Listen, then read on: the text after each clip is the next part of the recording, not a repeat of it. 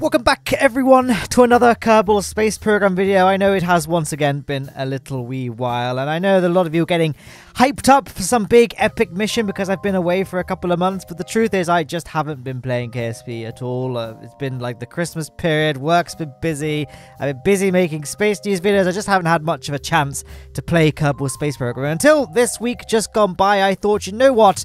I'd like to make a colony because I haven't made a, a, surface base in a little while. And not too long ago, I made a video showcasing a folding base concept that used the hinges and uh, a Kerbal adding struts to make a base that's like a nice compact shape when it launches and then it all unfolds. But I didn't really like that base for a couple of reasons. Firstly, it involved an egregious amount of part clipping to the point where it was completely ridiculous and unrealistic, and it wasn't fully autonomous. It still required a Kerbal going out on EVA and manually attaching struts, which felt like a bit of a messy solution. So this is the new and improved version. Uh, it's fully autonomous when it comes to the unfolding. A Kerbal doesn't need to go out and weld anything together, as you can kind of see from the build going on. It locks itself into place using those little junior-sized docking ports that are attached to alligator hinges on the base of the module.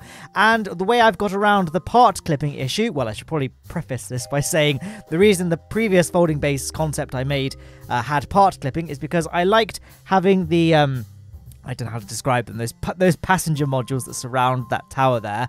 I liked them to be flush with the central tower, so that it was believable that a Kerbal could transfer from the central tower into one of the uh, peripherally mounted compartments uh, via internal transfer, basically. But with that big hinge there, um, that wouldn't really be possible. So I had to just sort of clip the hinge inside the base in order to make it look like it was part of the same module, if that makes sense. Looked better when it was unfolded, but the whole concept was much more unrealistic for obvious reasons. But I've came up with a solution that kind of changes this a little bit. Still involves a bit of part clipping, but it's a bit more convincing and it looks, it feels a lot more like something that could be done in real life. Uh, it's now gone. I'm building another module on screen, but I will just continue pressing on regardless. Uh, you may have caught it very briefly in the build video, but I'm using the inflatable air airlocks. Uh, basically, the hinges aren't central on the unfolding bits. Uh, they're offset slightly, so when they when the arms unfold, the airlock inflates. and It creates a nice little compartment to allow Kerbals to transfer from the central block into one of the arm pieces, um, convincingly, basically. I know the uh, the uh, the uh, inflatable airlocks are still clipped in, but you just imagine that a shorter inflatable airlock would be used in real life. That's that's the kind of the concept I started this with, and I thought uh, it's kind of a, a small base still. I couldn't really have anything meaningful on the actual arms themselves without requiring part clipping if I wanted to keep the payload at a fairly realistic diameter. So I thought instead, let's just build a completely separate building that lands next to the uh, the module I just built. It can be an uninhabited thing, so a ore refinery basically. And then I'll add a third module. This can just be the rover. I decided to make a rover that was nice and wide in order to avoid it, you know, in order to reduce the chance of it flipping over. Uh, ignore that massive Science Junior unit. I decided to just get rid of that because it's so ugly and cumbersome. Uh, but this is the rover here. Now, my initial kind of thought for making these foldable modules like this is because they would fit in a realistic looking rocket. I'm sure you could squeeze them into something that looks a lot like a Ariane 5 or a Starship or a Delta IV Heavy or basically any kind of heavy lift or super heavy lift rocket. You can they can fold into a, a good re realistic looking uh, payload fairing. But then I thought this video is probably going to be quite long because this build process here uh, it's quite a long-winded process anyway so it adds quite a lot to the video. There's lots of modules. If I'm launching lots of realistic looking rockets, it's going to drag the video out. So instead, I'm going to just pack them into a realistically sized pay, uh, payload fairing diameter wise, but then they're all going to be just stacked inside one rocket. So it's going to be a very realistically, it's going to be a realistic payload fairing, I should say, uh, in terms of its width, but it's going to be very, very tall. So it's not going to be totally realistic, but it does cut cut down time on the video, and I get the impression that people generally prefer seeing big, crazy single launch things rather than multiple launch things that are then docked together in low Kerbin orbit because I don't know, a bit more fun watching a massive rocket fly and. Uh, uh, cuts down on kind of the finicky process of docking things in low Kerbin orbits. Here we are, stocking all the stocking, stacking. I think I was trying to say docking, and then I changed that to stacking and ended up saying stocking. We're stacking the modules that I've just built all on top of each other, and then we're gonna add uh, a payload fairing to encapsulate them all, and then I'll uh, just put a big dumb rocket underneath it. Uh, ended up looking a little bit SLS-esque. Uh, it was a big orange core stage flanked by two solid rocket boosters, so looks a bit like an SLS, I suppose. There's the fairing base. I'm not actually using the Saturn V parts. I'm using the uh, the mammoth scale parts. A three is it 3.75 meters? I think it's 3.57 3.75 meters. Um, that, that's going to be the diameter of the tank that I use. So I think this is DLC proof. I mean, you still need the breaking ground robotics, but I'm not sure if I actually use any making history parts on this build. I'm now just racking my brains trying to think if I used any parts from the Making History D- Making History DLC. I don't think these SRBs are in Making History, are they? So I, I think if you've only got Breaking Ground, this craft might work. I mean, the craft file, I'm probably not going to put that in the description because I like encouraging people to design their own surface bases because designing surface bases is one of the more fun things to do in Kerbal Space Program, I think. And, uh, you know, it's a good way of expressing yourself creatively. So, sorry about that. And also, you know, I, I just can't be bothered. Anyway, that's pretty much the build done. There it is on the launch pad. As you can see, there's no launch escape system for any crew, so I'm not going to be launching the crew with this flight. So I know I technically advertise this as a single launch base, but I am going to do a secondary launch just to bring some Kerbals up to space, get them on board, and for another very, very important reason that will be made manifest when we get there. But I'm going to cross that bridge when it comes. For now, we just got the ascent. It's uh yeah yeah. I guess I said it looks a little bit SLS esque this thing, but it's uh it's a very elongated SLS. Was that almost a pun? Because Elon Musk, Elon Gate? It wasn't really. Uh, as you can see, oh, as, as you can hear, very quiet. I don't know why the audio didn't record again. I'm having real hit and miss issues with uh, NVIDIA recording software at the moment. Sometimes videos will just record the audio absolutely fine. In fact, most of the time that is the case. But then occasionally it doesn't record the audio at all which is a real shame because then you know it makes the video not as good. I'm still trying to figure out why this is. Like I had headphones on when I was recording this, and the game was making sound, and I haven't really got I haven't got like loads of different sound cards or anything. I've only got one output device on this PC.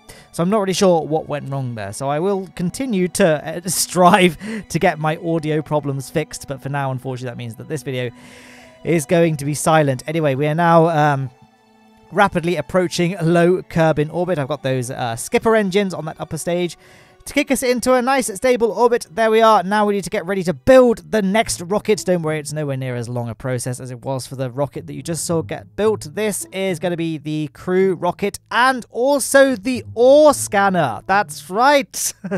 so um, one of the modules on the big rocket I just launched was an ore refinery. So I thought, let's try and actually land somewhere with lots of ore because I've done lots of bases in my, you know, Kerbal Space Program career. And I never, ever, ever, ever, ever, ever, I don't think I ever, ever have checked to make sure where I'm landing the base is actually somewhere with ore. So I land the base, deploy the drills, and there's literally no ore in the ground, and the base is useless, which I know is kind of uh, ironic given that bases are useless anyway for the most part.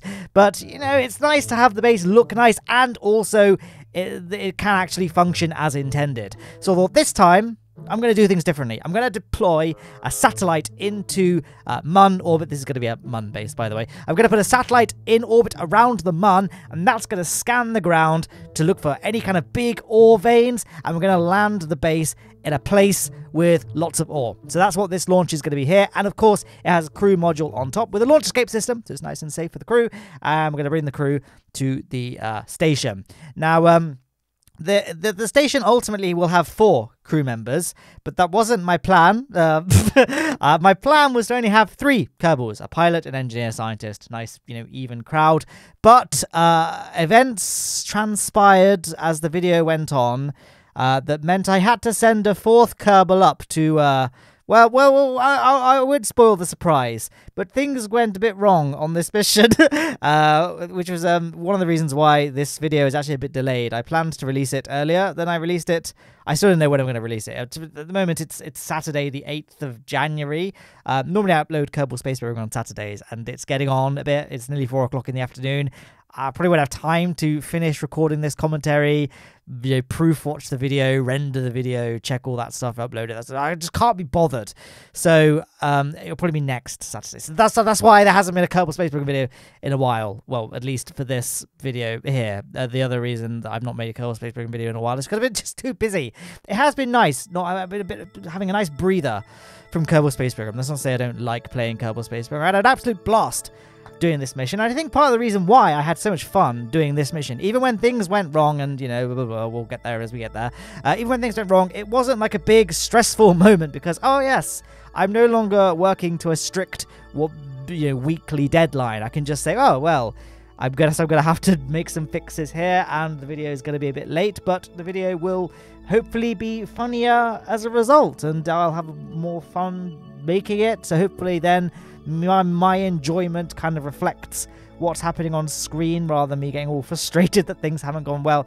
I don't really know uh, if any of this makes sense, but that's kind of the thought process there. So I, I don't know. I mean, I, I had, I did, I made a video a few months ago now saying that maybe I'd like to try doing more ambitious missions and just do them like every four months, like other Kerbal Space Program channels uh, do. But honestly, like I feel like the massive epic missions, like what Strats & Blitz recently did a big spin launch on Minmus, which was amazing.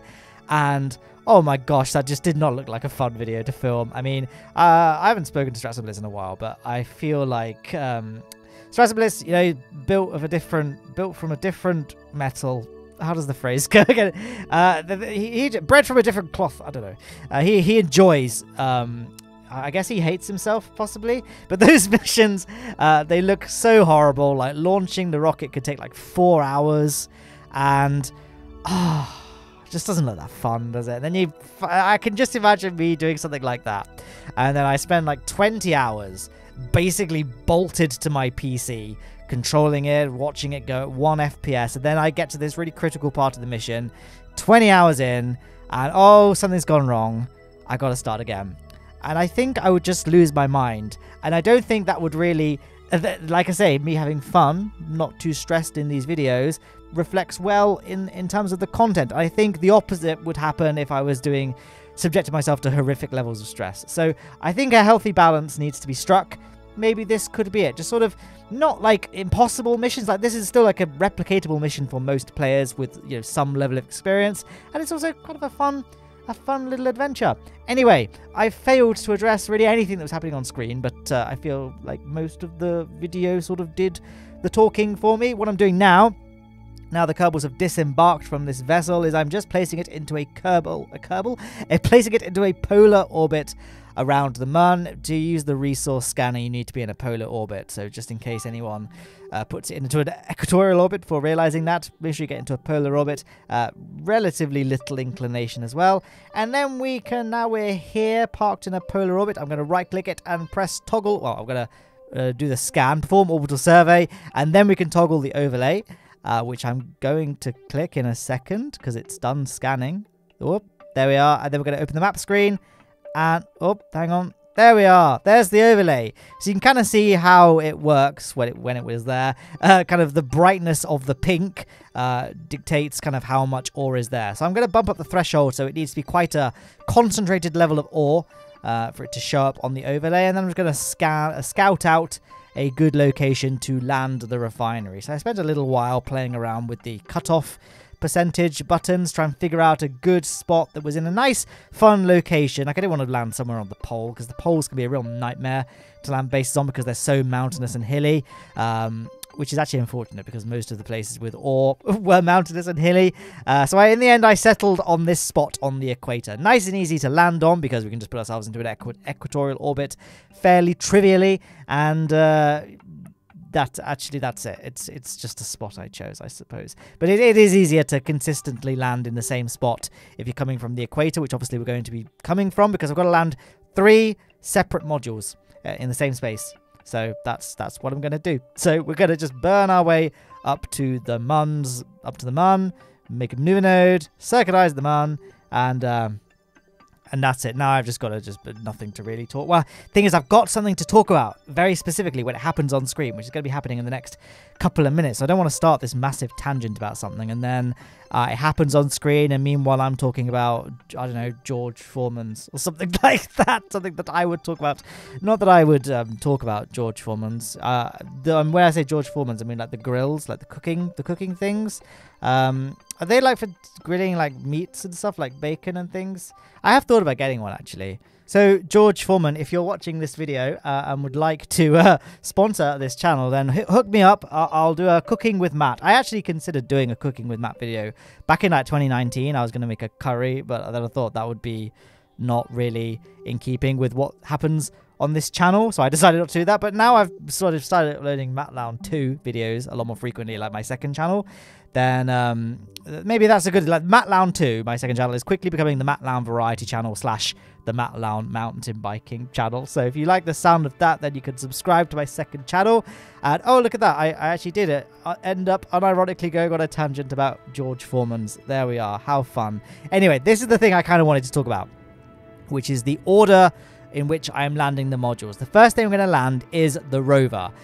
Because, like I say, this base, okay, it's got a fairly wide stance, so it can land in most places. But I'd like for realism and, you know, for the sake of the comfort of the uh, base's inhabitants, I'd like to land it somewhere relatively flat. Which can be hard to do when I'm landing the... Uh, the modules themselves because they haven't got that much delta V. They've only got slightly more than what they need to perform the landing. So I thought what I'll do is I'll land the rover first uh, and I can just land that anywhere and I can just drive the rover around and try and find somewhere relatively flat. And once I found somewhere relatively flat, I can then park the rover there and then when I'm using when I'm landing the other modules, I can use the location of the rover as like my target for where to land. I did try the other way around at first, admittedly, where I just tried landing the, the, the modules and I thought, I'll just quick load, I'll quick load and quick save and do that over and over until I just happen to land somewhere flat. And it turns out this location that I picked is really, really hilly. You probably saw that big ravine as I was coming in, and I thought, you know what, let's just land, land let's just land the river first, and then we'll figure out um, then they will easily plant a flag or use a Kerbal or something as a marker, and then we can just aim at that when it comes to landing the other module. So here we are. I'm just uh, driving the rover. I, in the end, kind of you can kind of see there's this sort of slope, and then it slopes upwards again in a second. And where the downward slope meets the upward slope, there's like a nice join. There'll be it's pretty flat, and a base could easily straddle this little join just here. So this is the location I chose. A little bit of drifting there on the man, as you do. Uh, so yeah, didn't quite get to the location I wanted. Thought I'd try and be really accurate with my marking and use Gwenlow Kerman. She's going to very bravely stand here as the marker for where the rockets need to land. So hopefully she doesn't get squished. There we are. Just going to touch down. Touch down nicely. There we are. So, my goodness, doesn't the mun look good? I still haven't gotten over the uh, the ultra textures up update that came out gosh, ages ago now, isn't it? But it still looks absolutely phenomenal. And you might have noticed that my game in general, uh, hopefully, looks really, really good as well. That's because I'm using lots of visual mods. My last video I made was, um, well, my last Kerbal Space Program video I made, I should say, was what mods I'm using and how to install them. So if you want to do that, then just click on, if you go on my channel, there's a playlist of Kerbal Space Program videos. It's the most recent one. Or if you're watching this in the future, I don't know. I'm sure if you just type in Matt Lowne mods, how visual mods, how to make the game look good, it will come up somewhere near the top of the search results. Anyway, as you can see, I've set what was her name, Gwenlow, as our target, so I can just easily aim for that little reticule now, uh, nice and easily. I don't have to worry about trying to desperately search for some uh, flat level of ground whilst also trying to time my suicide burn with a ship that doesn't have that much delta V in like surplus, and it doesn't have great thrust to weight ratio either. So this was kind of the easiest way of doing things. Because as you can see, where Gwenlow is, it's not immediately apparent that that is a flat spot. So it's a good thing we've got her to mark out the location. And there we are, we've deployed the landing legs. I'm using the uh, medium-sized landing legs, not the biggest ones, because... Oh, and this is going to be difficult to explain without a visual aid, but I'm going to try anyway. When the arms, like those little crew modules, were folded in, the uh, legs were kind of on the end like that. Now the big, the, the, big legs, they ha they would jut outwards and they would stick inside the central lab module, if that makes sense. They have a big protrusion when they're folded up, whereas these landing legs have a pretty, you know, flat profile when they're folded up. I don't know if that made sense, but if you just look at kind of the big landing legs and look at these landing legs in the editor, you'll probably hopefully be able to tell. Anyway, as you can see, I kind of undershot. I didn't quite land at the place I wanted to. We're on a bit of a slope. So I thought, well, let's just let's just walk there. So I I used the gimbal of the Terrier engines to uh, walk the base over to Gwenlow Kerbin, which I, I, I can't I can't quite believe this worked, but hey ho, it did. So there you are. When in doubt, just walk your base over to where you want it to go. And uh, and there we are. We are here. Let's just uh, extend those landing legs again. And there we are. The core module is landed. This module had the least amount of delta V and it had the poorest thrust weight ratio of all the things we need to land. So it's good to get this one ticked off. I'm just disengaging all the motors now and locking them in place so that it doesn't drain any power unnecessarily and just keeps the base a bit more stable in my mind. I don't know if it actually does in terms of the game's physics, but it feels like it should keep it more stable, right?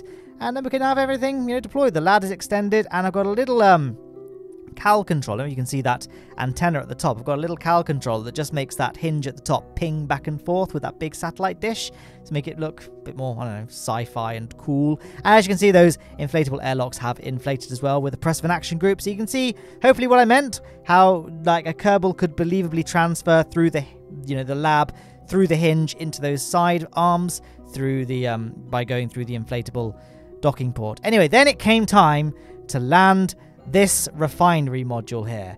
And here we are in orbit, ready to perform our landing. And then I'm going to skip ahead to actually the point where I landed it because I made a bit of a blunder here, guys. And I know you guys probably know where I'm going with this, where I said a fourth Kerbal ended up joining the expedition. And that's because, look, no, I, I don't know why I didn't actually test the clearance of the drills.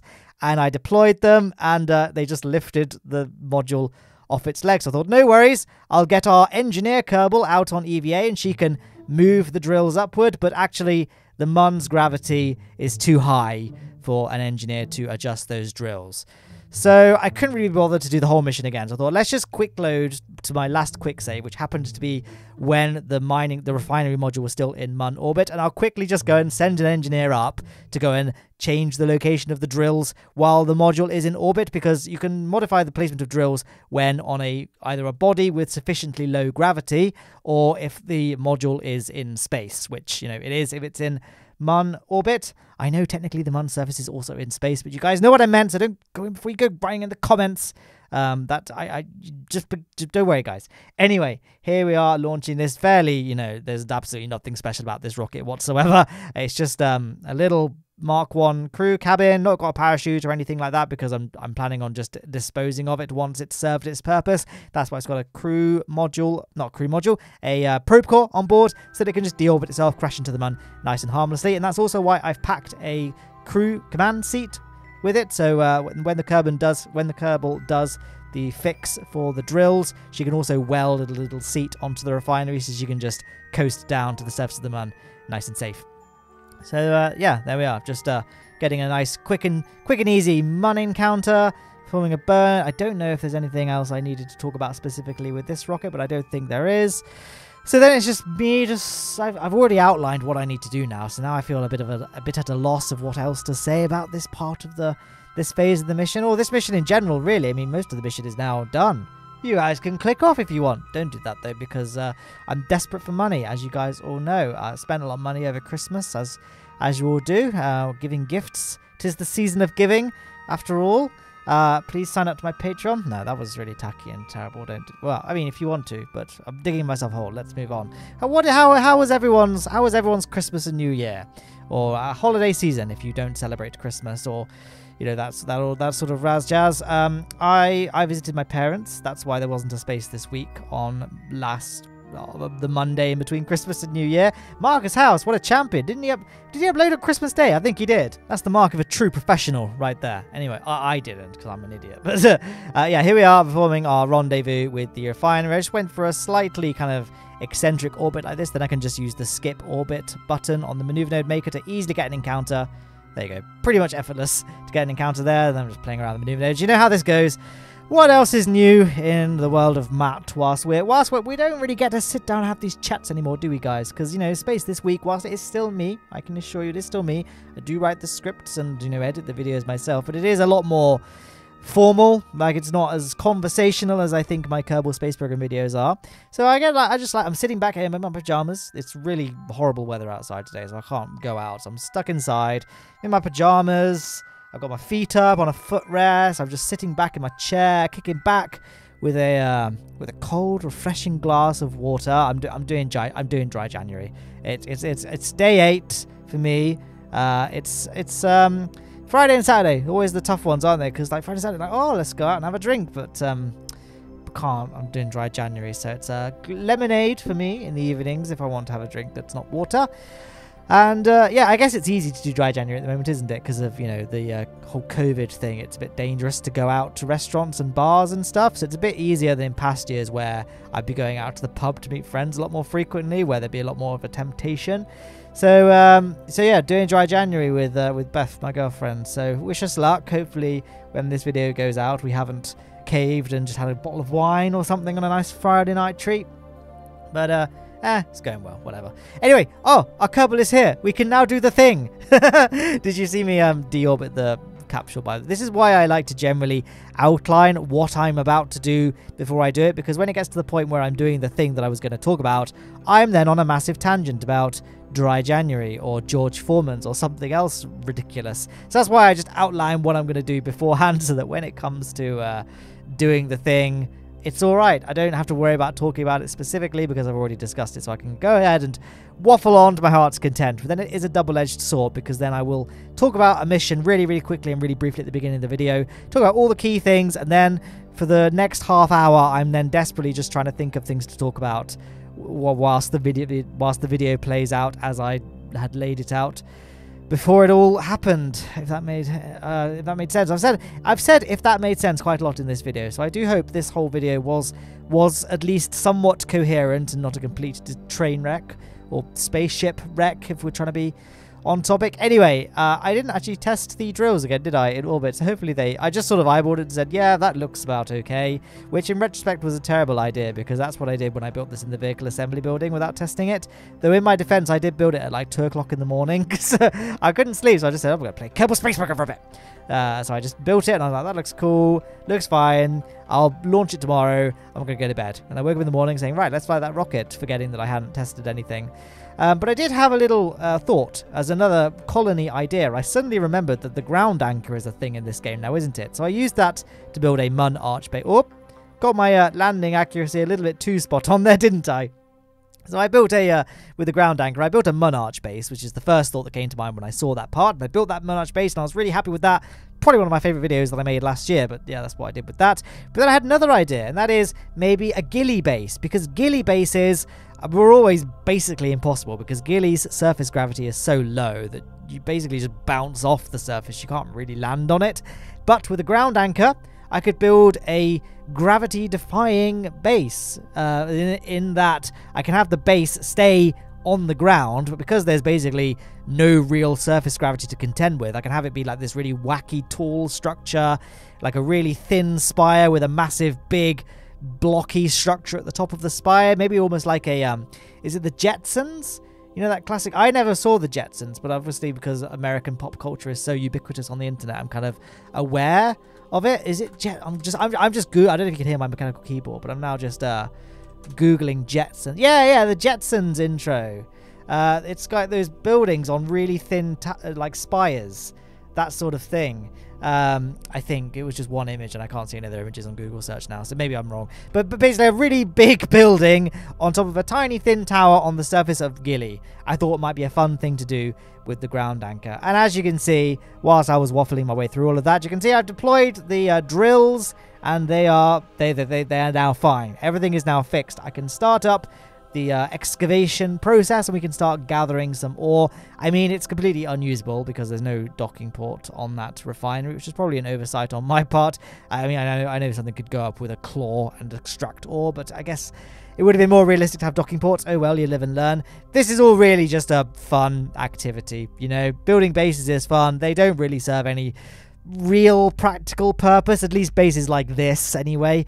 Um, so, uh, yeah, bases are just fun to build, aren't they? And happy 2022, the first Kerbal Space Program video that I've made of the year. Hopefully, there'll be more to come. Thank you also to my patrons, whose names are scrolling on screen on the left, and also big thanks to uh, my channel members as well, who get these videos early. Pro- they probably got this video early. That's probably what I'll do.